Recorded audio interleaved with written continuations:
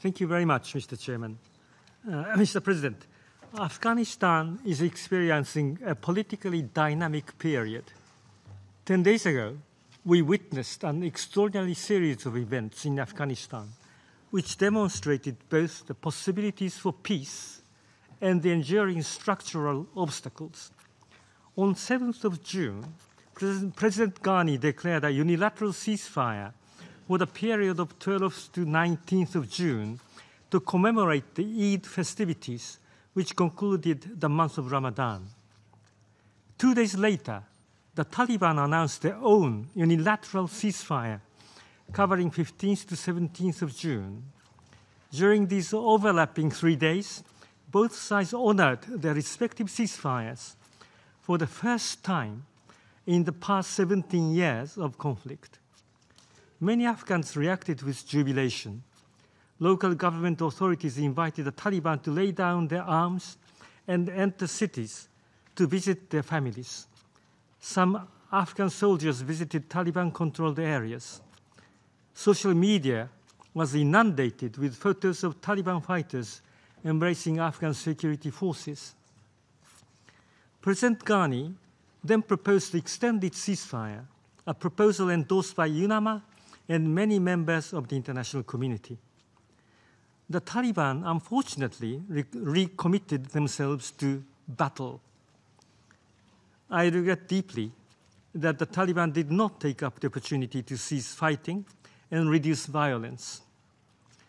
Their decision to fight will only increase the sufferings of civilians.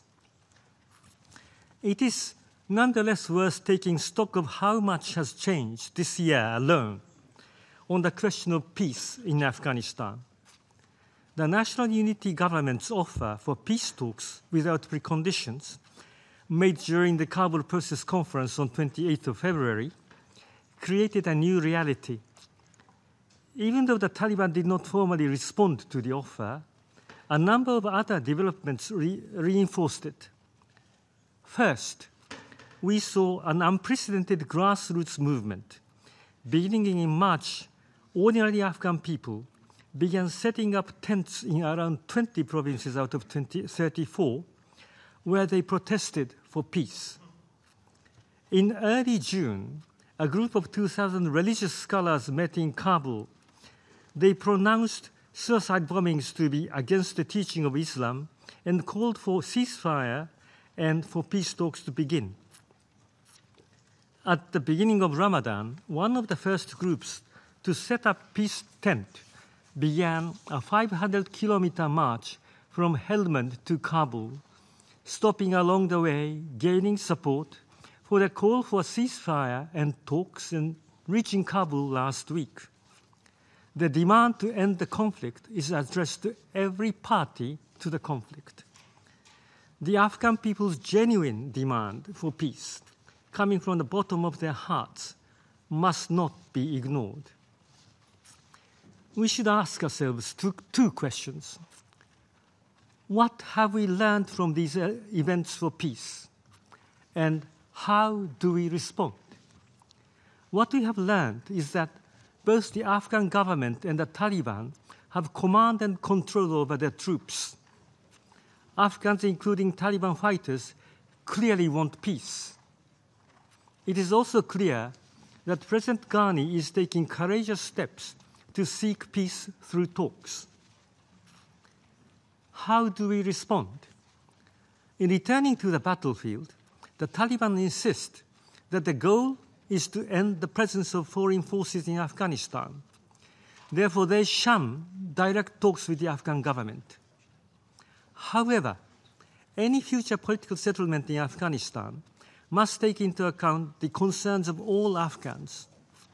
The Afghans must talk among themselves to end the conflict and to decide on the future. This clearly requires the Taliban to have direct talks with the Afghan government we believe that the issue of international forces will inevitably be taken up in the comprehensive context of peace talks, which will determine the future political order for all Afghans. I should like to note here that regional efforts to counter terrorism have been receiving more attention with some important international conferences organized by Tajikistan and the UN Office for Counterterrorism. Mr. President, preparations are now underway in earnest for parliamentary elections in October and presidential elections planned for the spring next year. Since mid April, over 7 million people have registered to vote. This is the first time since 2003 that Afghanistan is conducting a complete re registration of voters for both parliamentary and presidential elections. The goal is a single national voter register which, which can produce accurate polling station based lists. When achieved, this is expected to reduce fraud significantly. The registration of over 7 million voters is a positive achievement under the difficult circumstances, particularly insecurity. On closer scrutiny, however, there remain reasons for concerns. First, in six provinces, less than 35% of estimated eligible voters were registered. Secondly, registration within provinces is uneven, with certain areas prevented from registering for logistical or security reasons. Given Afghanistan's multi ethnic composition, the exclusion of these communities could lead to significant contestation of election results. The disparities have also affected candidate nomination. This time, elections in Afghanistan are conducted as a fully Afghan led and Afghan owned process. All Afghans share responsibilities for transparent and inclusive elections. The Independent Election Commission, the IEC, has the primary responsibility. Each commissioner must become fully aware of the lofty responsibilities they shoulder for the future of Afghanistan to strengthen the foundation of democracy's democratic political process and also to demonstrate that Afghanistan is determined and ready to take on the challenges to bring about an independent, sovereign state which can stand on its own feet. Political parties and political leaders need to be fully aware that they also carry a large part of responsibility for credible elections. Rather than simply criticizing the process, they must be actively engaged to make elections truly Afghan owned. We welcome the commitment by civil society to conduct observation at every polling station to monitor voting, counting, tabulating, and transmissions of results. The international community must support them in their observation. The United Nations has 23 international experts currently working with the IEC and Complaints Commission, as well as their respective secretariats and additional technical advisors are being recruited. We, the, the UNAMA, will do everything possible in cooperation with the international community to assist the Afghan efforts to bring about transparent, inclusive, and credible Afghan owned elections. Mr. President, the Geneva Ministerial Conference on Afghanistan, hosted by the United Nations, and co-chaired with the government of Afghanistan is to take place on the 28th of November. The conference comes at the midpoint of the transformation decade during which the country transitions from dependence on the international community to self-reliance. The conference will focus on three areas. First, the extent to which the country is moving towards self-reliance and the effectiveness of aid. Second, remaining challenges, for example, insecurity and job creation. Clearly, both more safe country and one in which the private sector can grow faster is key to create employment. Third, the link between short-term humanitarian action and development cooperation. the link between peace and security, humanitarian action and development is a key theme for the United Nations. And the Geneva Ministerial offers opportunity to focus on this nexus. In Geneva, we expect the Afghan side to report on their achievement in the areas of development, poverty reduction, and reforms, and outline concrete plans to address remaining challenges. In response, I count on Afghanistan's development partners to support strongly the people and the institutions of Afghanistan as they move the country forward.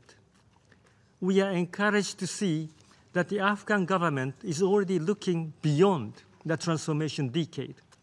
For example, by working to increase regional connectivity and trade. Much has been achieved, but much remains to be done in the domains of peace, security, and development. Geneva affords us all this year's best chance, set in stone the road to, safe, to a safer and better future. Mr. President, much of Afghanistan, in particular the north and the west, have been struck by drought, more severe than anything experienced in almost a decade. Wheat production in 2017 was reported to be 57% below the five year average. The 2018 harvest is forecast to be even lower.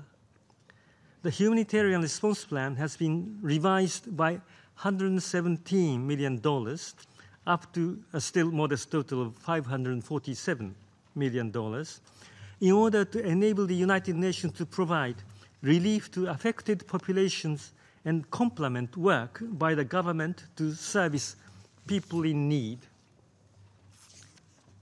Mr. President, while our attention has been focused on large political processes, it is important that we not lose sight of the critical issue of the protection of women's rights. UNAMA recently issued a report on the use of mediation to resolve criminal cases of violence against women. I was greatly disturbed by the findings. The report found that a majority of these cases were resolved through mediation instead of being prosecuted according to criminal laws. In many cases, these traditional means of resolution compounded the original violence. Women were left to suffer. Women who have been subjected to criminal violence must be able to assert their rights according to the law. Mr. President, the key political events of peace and elections are far from assured. But we are seeing unprecedented opportunities to make progress, to seek peace, and to consolidate the political foundation for the future.